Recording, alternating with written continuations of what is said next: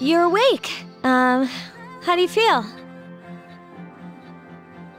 Thank goodness you finally came to. Oh, this is Tatsumi Memorial Hospital.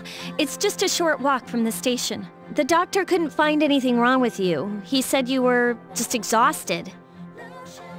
Um, I'm sorry I couldn't do anything. But your power, it was amazing. The power you used, we call it persona. And those creatures you defeated are shadows. Our enemy. We'll explain everything later. I'm sorry I didn't tell you before. I, uh, wanted to tell you that I'm sort of like you. My dad died in an accident when I was little. My mom and I aren't exactly on good terms. You're all alone too, right?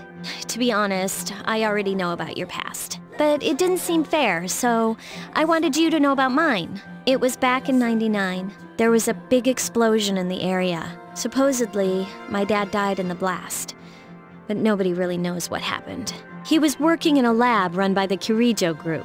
So, I'm hoping that if I stick around long enough, I'll find out something. That's why I'm going to Gekkoukan High, and why I was there when this happened to you. Of course, I panicked and wasn't much help. It was my first time fighting them too. I'm sorry. You wouldn't have to go through all this if I wasn't such a coward. Thanks. But still, here I am telling you all this the minute you wake up.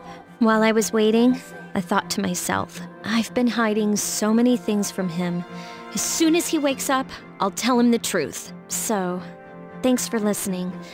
I've been wanting to share that story with someone for a long time. All right, I'm gonna get going. I'll let the others know you woke up. Bye!